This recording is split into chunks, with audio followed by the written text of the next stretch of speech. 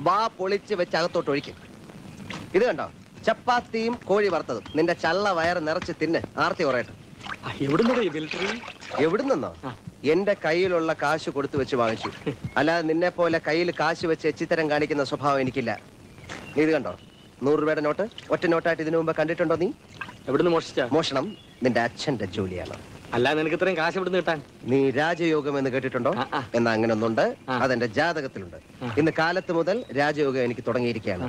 രാജകുമാരി രാജയോഗവുമായി രാവിലെ ഊട്ടി റെയിൽവേ സ്റ്റേഷനിൽ വന്നിറങ്ങി. ആര്? തെളിച്ചു പറ.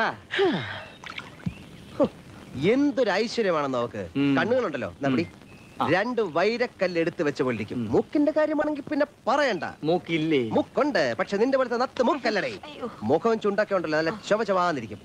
ഞാൻ വിചാരിച്ചത് സായിപ്പിന്റെ കുട്ടിയാണ് നല്ല സ്റ്റൈലും വേഷം. ഇംഗ്ലീഷ് ആണെങ്കിൽ പിന്നെ അല്ല നീ കേൾക്കണം. നമ്മുടെ ഈ സ്റ്റൈലൊക്കെ കണ്ടപ്പോ അവൾ എന്നോട് ചോദിക്കാണ്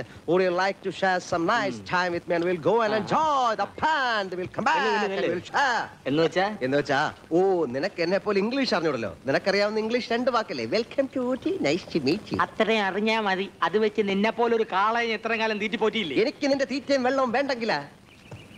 അവൾ എന്നോട് പറയാണ് ഹേ handsome, I am going to take you with me. എടാ സുന്ദരക്കുട്ട ഞാൻ നിന്നെ ദത്തെടുത്തോട്ടെ എന്ന്. ഞാൻ പിന്നെ ഓക്കെ എന്ന് പറഞ്ഞു. ഒരു തൗസൻഡ് റുപ്പീസ് എടുത്തു തന്നു. എന്നിട്ട് പറയാണ് goodbye good night sweet tomorrow sweet dream അവിടെ വരെ കഥ നിൽക്കുകയാണ്.